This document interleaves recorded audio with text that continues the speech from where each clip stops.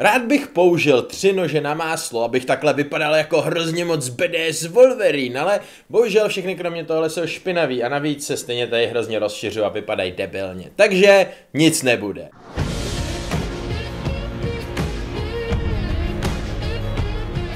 Dobrý den dámy a pánové, já jsem Medojet a tohle je recenze filmu Logan dvojtečka Wolverine, což je třetí solovka Wolverina, ve který hraje opět Hugh Jackman, který je, jak už všichni hádám víme, naprosto vynikající, on prostě vypadá jako Wolverine, umí opravdu solidně hrát, takže nejsem si jistý, jestli má on sám přímo tak nějak podobnou osobnost jako Wolverine, mám pocit, že ne. Každopádně je to prostě vynikající Wolverine, na tom se snad všichni shodneme. No a ty první dvě solovky nedopadly tak úplně nejlíp. Ta první, hlavně kvůli tomu, jak neuvěřitelně sprznili Deadpoola a taky tam bylo celkem dost nudných pasáží, a ta druhá byla prostě divná, čili doufali jsme, hádám všichni, že třetí film se opravdu podaří, obzvlášť když je to poslední štace Huga Jackmana jako Wolverina a můžu vás rovnou ze začátku uklidnit, je to dobrý, je to kurva dobrý. Wolverine tady konečně působí prostě tak, jak by působit měl, tak, jak je v komiksu. Takže ve filmu je konečně mnohem, mnohem víc krve. Vidíme ten Wolverinův typický hodně zvířecí bojový styl a ten prostě působí o tolik líp, když je tam prostě krev. To už bylo trošku vidět na druhý solovce Wolverina v tom Director's Cutu, který byl erkovej a byla tam doplněná nějaká digitální krev. Jenže digitální krev prostě není to samý jako normální pitlíky z krví nebo kombinace obojího a tak.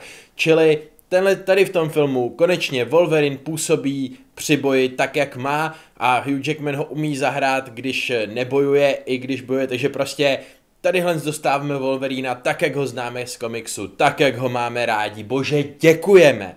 No a Wolverina tady doplňuje poslední žijící X-Men, což není nikdo jiný než profesor X, čili Charles Xavier, který ho hraje Patrick Stewart, který ho hrál v prvních X-menech, druhých, třetích X-menech, prostě ve spoustě X-menovských filmů, hádám, že ho všichni znáte, pana Picarda, že jo.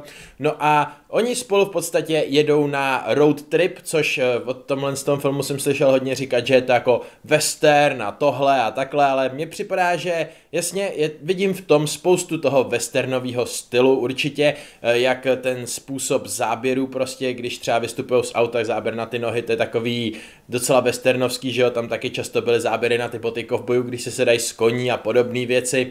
Nicméně podle mě tenhle ten film z docela velké části v podstatě road movie, obzvlášť když se přidá k Charlesovi a k Wolverinovi ještě X23, kterou hraje neuvěřitelně talentovaná holka Daphne Keen se jmenuje tuším a opravdu na ní bychom si měli dát všichni pozor, jako protože tady v tom filmu předvedla něco naprosto, naprosto neuvěřitelného, jak v akčních scénách, tak ve scénách, kde se prostě normálně hraje. Takže tahle trojice prostě velkou část filmu někam cestuje, určitě určitým způsobem se spolu znovu zbližujou. Charles Xavier je totiž tak nějak nemocný, má takovou tu stařeckou demenci a upřímně, když nejnebezpečnější mozek na celé planetě dostane stařeckou demenci, nebo já nevím, nějakou jinou, nějakou prostě degenerativní, degenerativní, v pořádku, degenerativní chorobu, tak to evidentně není pro svět nic dobrýho a to opravdu v tomhle tom filmu můžeme vidět. Můžeme vidět v podstatě, což je velice zajímavý, takovej ten pohled na to, že vlastně mutanti mají nějaký schopnosti,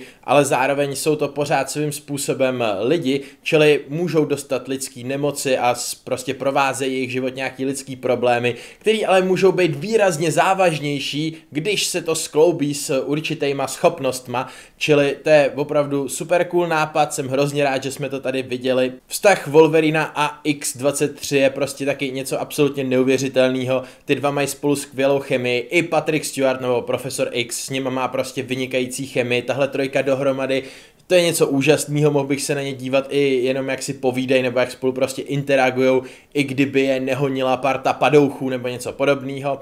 Když už jsme u padouchů, tak eh, záporák v tomhle tom filmu e, není nic extra, ale svýmu účelu poslouží, každopádně patří to spíš do slabší stránek tohohle z toho filmu.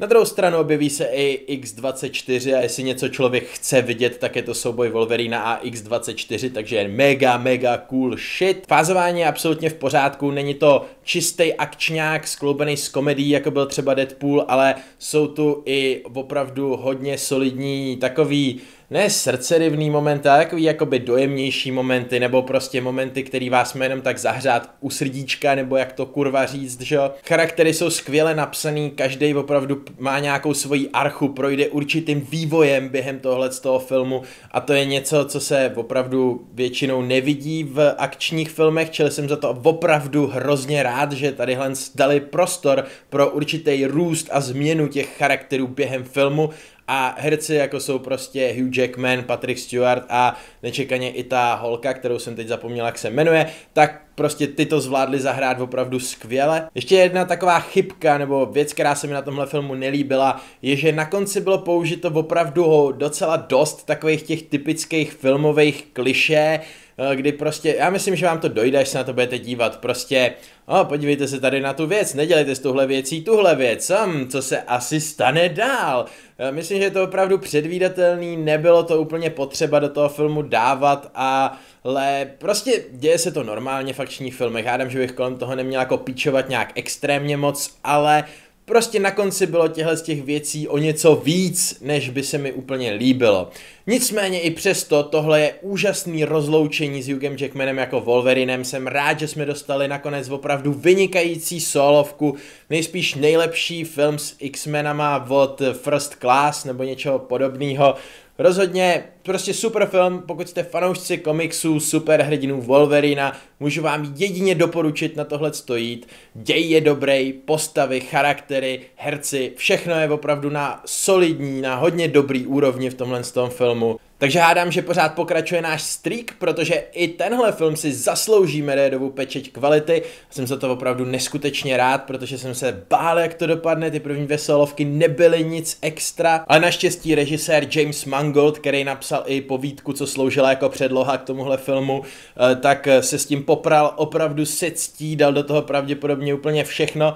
Čili to vyšlo a je to prostě boží, můžu opravdu doporučit i lidem, co mají rádi třeba jenom akční filmy a tak úplně superhrdiny nemusej, není to prostě typický superhrdinský film, tak jak je produkuje Marvel jeden za druhým, nebo takový jako byl Deadpool. A ne, že bych měl něco proti Deadpoolovi, byl to vynikající film, super vtipný, super akční a tak, ale Tady prostě, přestože tu je humor, tak je založený na úplně jiných věcech, nejsou to takový ty, oh, prolomíme třetí zeď, jo, hele, četli jste komiks a podobné věci, přestože se tu najde i několik, nevím jestli přímo easter eggů, ale prostě referencí na to, že X-meni existují jako komiks a tak podobně, že jo, takže to už by bylo, hádám, všechno. Díky moc za sledování. Samozřejmě, pokud máte nějaký čas navíc, mohli byste sjet o trošku dolů, napsat nějaký komentář, jestli už jste to viděli, neviděli, dát lajčík, že prej to bude fungovat, mi psali v komentářích pod typama pro youtubery, tak uvidíme. Každopádně díky moc za sledování a někdy příště.